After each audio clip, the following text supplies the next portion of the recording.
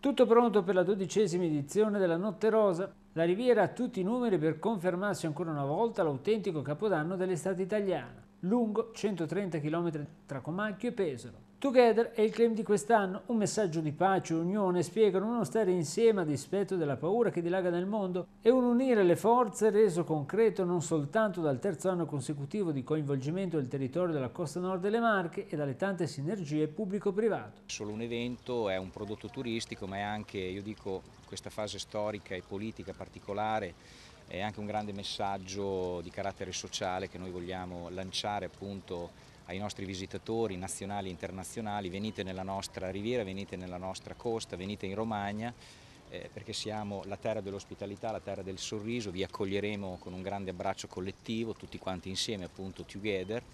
In un periodo storico appunto in cui si alzano muri, noi vogliamo aprirci al mondo, vogliamo aprirci ovviamente ai tanti turisti che decideranno ancora una volta di sceglierci come meta preferita delle loro vacanze.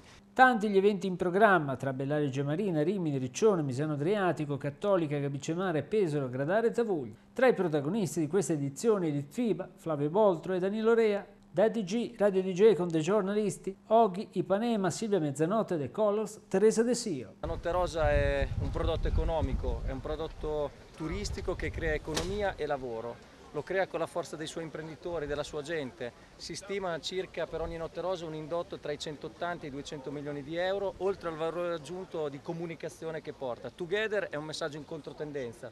Quando tutti diffidano del vicino di casa o di chi arriva e quando tutti magari possono avere paura di uscire di casa, noi diciamo together.